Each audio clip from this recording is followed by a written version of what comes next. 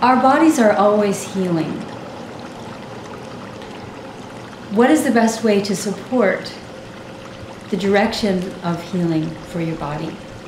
We have a process that identifies the underlying stresses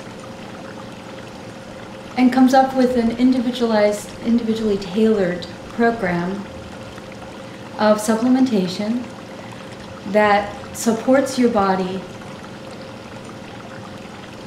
in the direction it, it's already working on healing. So you could be healing a lot of different things at the same time. But our system prioritizes what your body is prioritizing and addresses those priorities in a very specific layering process. Following the model of the clinical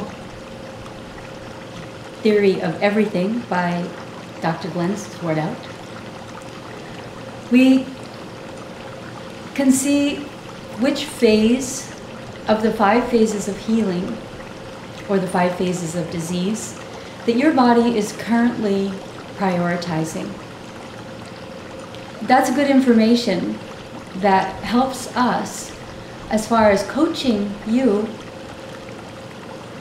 with what kinds of symptoms you're having and how those symptoms fit into the roadmap or the or the patterns of the process that, that the overall process that you're